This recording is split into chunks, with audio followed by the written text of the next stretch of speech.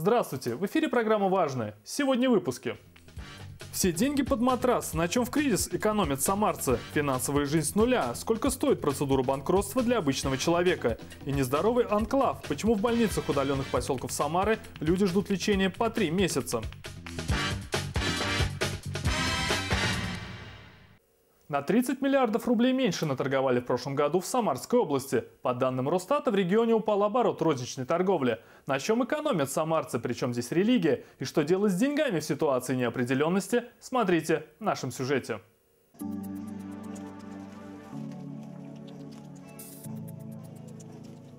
Экономят все, и бедные, и богатые. Кризис. Теперь каждый очень осторожно подходит к покупкам. И только продукты приобретают в прежнем объеме, и то не самые дорогие. Хлеб и масло на столах у каждого, а дорогая колбаса для многих уже деликатес. Наибольшее падение в сфере розничной торговли в прошлом году испытал э, сектор э, потребительской электроники и рынок э, мобильных устройств. Это связано с тем, что в начале прошлого года, 2016 года, курс доллара демонстрировал свои максимальные значения, что, естественно, привело к удорожанию импортных товаров, и поэтому спрос на них снизился. Сокращение расходов на самом деле коснулось практически всех групп населения, даже в том числе и обеспеченных граждан, которые, естественно, не стали э, меньше потреблять продуктов, э, но они э, стали с большей осторожностью подходить к крупным покупкам, например, к покупке автомобилей и недвижимости. С тех пор доллар сильно просел. Сергей Соколов обещает, стоимость импортных товаров скоро тоже упадет – но причина снижения объемов торговли не только высокие цены. В кризис у людей растет страх. Они меньше покупают и меньше инвестируют. Валюту и акции не несут деньги в банк. Многие стараются отложить на черный день. Банки, в свою очередь, с неохотой выдают кредиты. К тому же во многих организациях сильно урезали зарплаты. Самарская область – один из регионов, который серьезно пострадал от спада в экономике.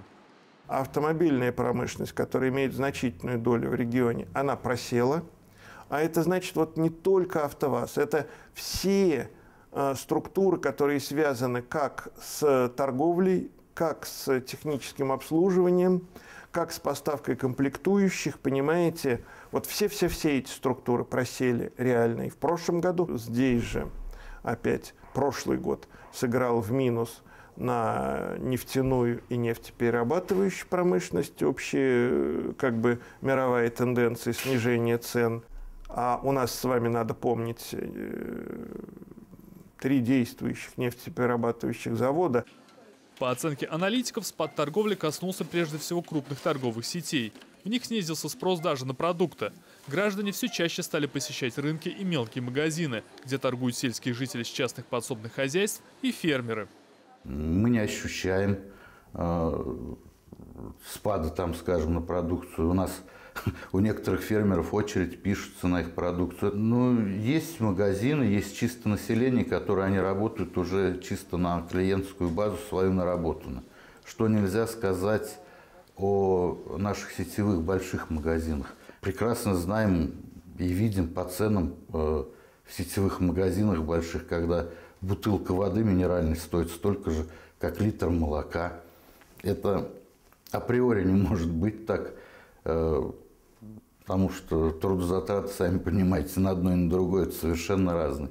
Кроме доступных цен, люди сейчас все больше обращают внимание на качество продуктов. Иногда они готовы даже переплачивать. А падение спроса фермеры фиксируют только во время религиозных праздников.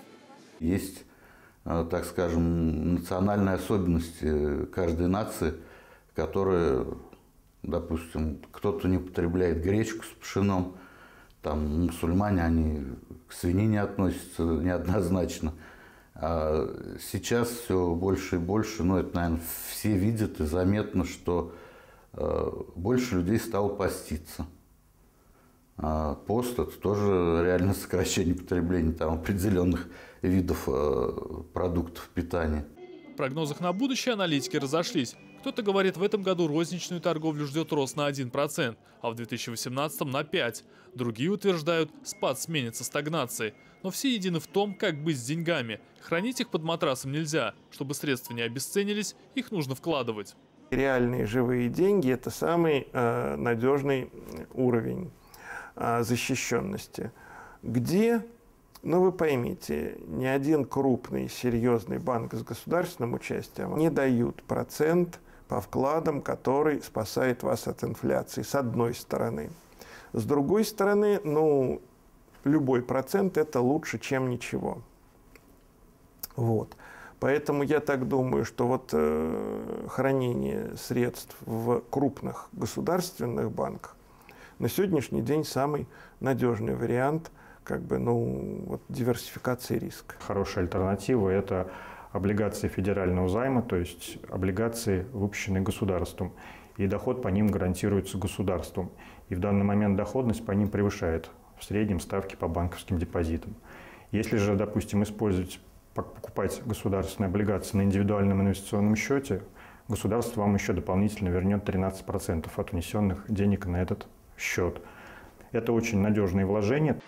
Однако ситуация неопределенности продлится недолго. Сейчас и федеральное, и региональное правительство активно проводят в жизнь антикризисную политику. Она уже дает свои плоды. В конце прошлого года стала падать процентная ставка по кредитам. Результат – последние месяцы возобновился рост потреб кредитования, что в свою очередь стимулирует торговлю.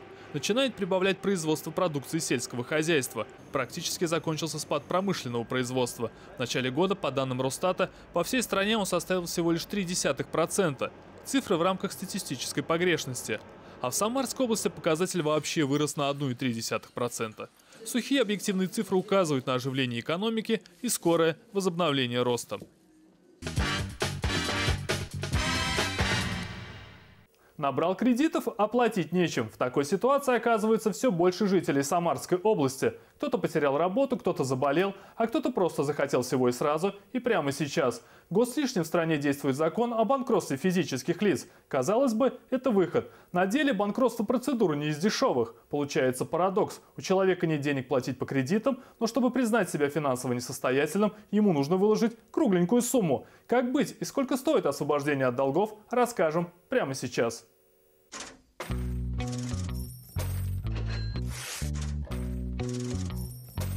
Одиннадцатое место среди российских регионов занимает Самарская область по числу обанкроченных людей. Большинство из них граждане до 35 лет. Они оформили несколько кредитов, накупили бытовой техники, телефоны, телевизоры и не рассчитали свои силы. Но есть и те, кто должен не за электронные безделушки. Виктория вышла замуж, взяла кредит на ремонт и покупку новой мебели. Займы оформила на себя. В месяц приходилось платить 25 тысяч рублей. Брали под под надежду мужа, что работал. Потом в результате развод. Я стала несостоятельна в платежах. Ну и банки начали меня трясти, соответственно. В результате попала вот в такую ситуацию, что ходила в суд, подавала на раздел долгов, пыталась все это как-то с мужем разделить. Суд отказал. Вот в результате я вынуждена была выселиться из своей квартиры. Там остался бывший муж. Вот, и плюс еще и коммунальные платежи, кредиты и все остальное. Бывший муж платить за кредиты отказался. Банки облегчить условия займа не согласились. Все зарплатные карты девушки заблокировали. У нее практически не осталось денег, даже чтобы купить поесть. Тогда адвокаты посоветовали Виктории подать заявление о банкротстве. Раньше девушка об этой процедуре ничего не слышала. Однако доведенная до отчаяния согласилась, не раздумывая. Честно говоря, уже никаких страхов не осталось, и надежда была потеряна просто как бы подала уже с тем, что ну вот что будет. Потому что терять-то, в принципе, уже нечего. Все, что было уже потеряно. Ну, надо все равно куда-то идти, потому что если когда терять уже нечего, нужно что-то делать для того, чтобы хотя бы что-то осталось. Виктории придется продать квартиру, чтобы расплатиться с долгами. Затем она собирается купить другую, подешевле. Но уже сейчас у нее разблокировали зарплатные карты. Появились хоть какие-то деньги и надежда, что все наладится. По словам девушки, банкротство вещь нужная, но сложная и очень дорогая. Процедура еще не завершена, поэтому назвать точную цену своему банкротству Виктория пока не может. Процедура банкротства достаточно дорогостоящая. На сегодняшний момент она оценивается там порядка 100-150 тысяч рублей. Ну и по времени это где-то от полугода до года. В эту сумму входят услуги финансового управляющего, в эту сумму входит госпошлина, в эту сумму входят расходы на публикацию объявления о том, что гражданин объявился банкротом. Работа финансового управляющего по закону стоит 25 тысяч рублей. Правда, по словам экспертов, клиенту приходится платить управляющему гораздо больше. Доплаты проходят по статье «Услуги на административно-хозяйственную деятельность». Это практически повсеместная практика под различными э, доп. оплатами, скажем так, маскируя сумму своего вознаграждения, арбитражный финансовый управляющий отказывается работать за ту сумму, которая предусмотрена в законе. Но она действительно очень маленькая, там, чисто символическая. Если процедура длится год, то выходит месяц, финансовый управляющий получает по 2000 рублей. С этим финуправляющий не спорит, но 100 тысяч рублей за банкротство, по их словам, цифра намного завышенная. Это недостоверная информация. 40 тысяч рублей в случаях, если у должника нет имущества. Как только у должника появляется или есть имущество, расходы увеличиваются примерно вдвое. Потому что это организация проведения торгов на электронных торговых площадках. При реализации залогового имущества открытие специального счета должника, на который сами же банки взвинтили цены очень до 20 тысяч за месяц. Обслуживание одного банковского счета доходит. Ну и 40 тысяч деньги немалые, особенно для тех, кто не может расплачиваться по своим долгам. Чтобы обанкротиться, многим приходится снова занимать. Деваться некуда, иначе будешь иметь дело с судебными приставами или хуже, с коллекторами. Я думаю, что здесь дело в желании и дело в том, что насколько э, ты хочешь э, официально признать себя банкротом. Потому что вот наши клиенты, э, пенсионеры, которые получают пенсию 7 тысяч рублей, у нас есть рассрочка, мы идем на это, рассрочка есть у нас, рассрочка есть у финансового управляющего, с которым мы работаем. И люди, будучи пенсионерами, они как-то в течение вот, когда в течение длительности процедуры, они копят и то есть все приносят, оплачивают. Сегодня в закон о банкротстве готовятся поправки. По ним суд может признать банкротом гражданина, чей доход не больше полумиллиона рублей, но не меньше 50 тысяч. Это называется упрощенная процедура. В этом случае финансовый управляющий будет не нужен действующей редакции вы знаете, что гражданин может объявить себя банкротом при условии, что сумма долга превышает 500 тысяч. Сейчас хотят для э, граждан, которые взяли кредит в микрофинансовых организациях, у них сумма долга там у кого существенно меньше, у кого просто меньше, чем 500 тысяч рублей. Но они не в состоянии обслуживать, поэтому с этими людьми нужно как-то работать. В противном случае их просто коллекторы там вымучивают с них эти деньги, но кроме там суицида и каких-то негативных последствий мы ничего не наблюдаем. Сегодня в Самарской области 14 тысяч потенциальных банкротов, посчитали в Национальном бюро кредитных историй. Упрощенная процедура позволит большему числу желающих пройти процедуру банкротства. По словам экспертов, этого не стоит бояться. Закон о финансовой состоятельности крайне полезный, особенно сейчас, когда в стране кризис. Признан банкротом, значит ничего никому не должен. Можешь спокойно начать жизнь с нуля. Станешь потом хорошо зарабатывать, банк все равно не имеет права требовать старые долги. Но у банкротства есть и минусы. К сожалению, вместе с долгами человек должен расстаться и со своим имуществом, деньги от продажи которого пойдут кредиторам. После решения суда три года гражданин не может занимать руководящие должности и заниматься бизнесом. Пять лет не имеет права при оформлении кредита умолчать о своем банкротстве. И последнее, банкрот не может повторно требовать признать себя финансово несостоятельным. Диагноз крайне неутешительный, поставили жители поселка Прибрежный местной системе здравоохранения. Люди стали заложниками статуса поселка. Формально Прибрежный входит в городской округ Самара, но от областной столицы до него 60 километров. Никто из врачей не хочет так далеко каждый день ездить на работу. Привлечь докторов подъемными на покупку жилья невозможно. Субсидии не положены городским врачам, только сельским. Выход из ситуации вместе с местными жителями искала наша программа.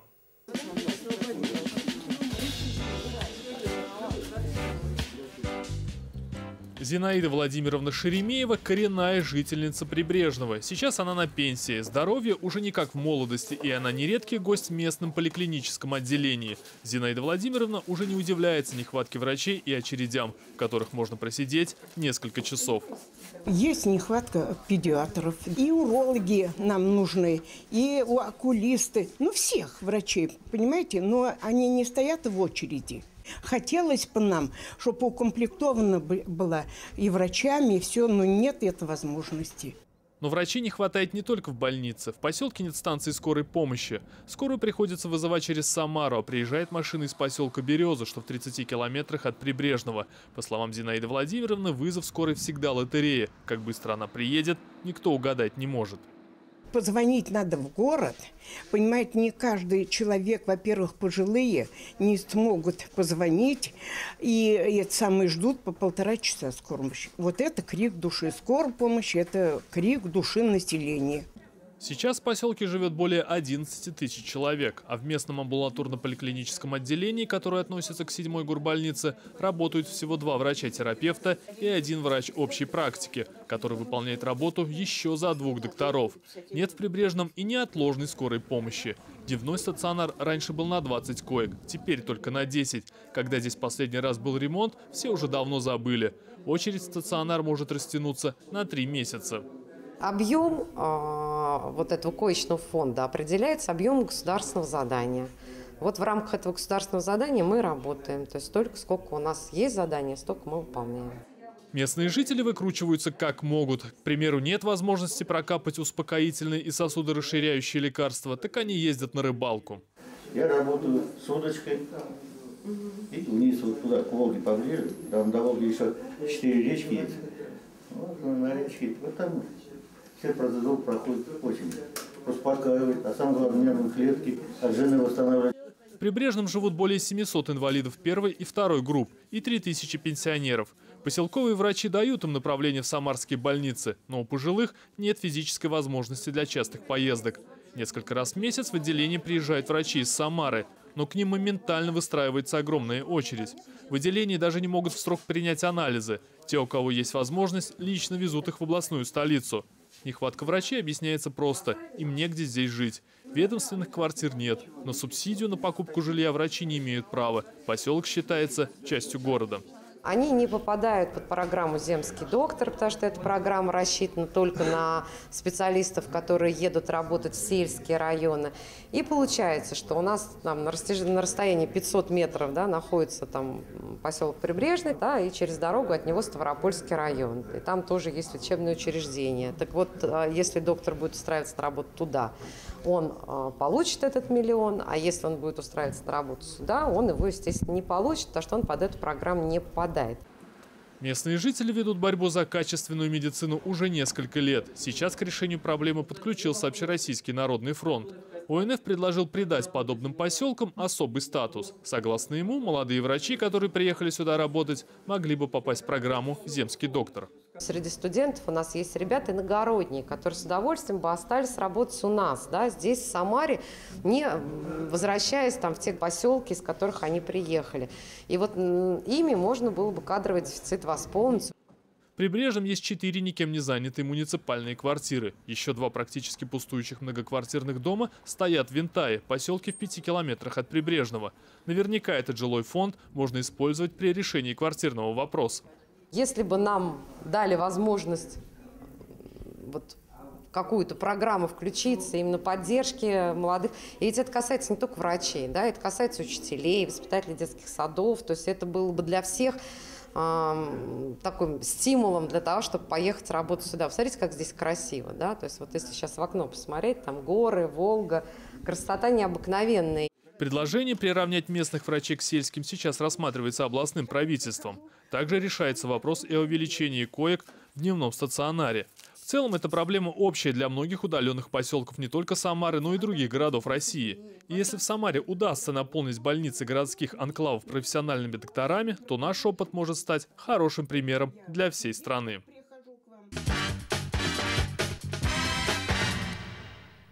В эфире была программа «Важная». Всего вам доброго и до скорой встречи!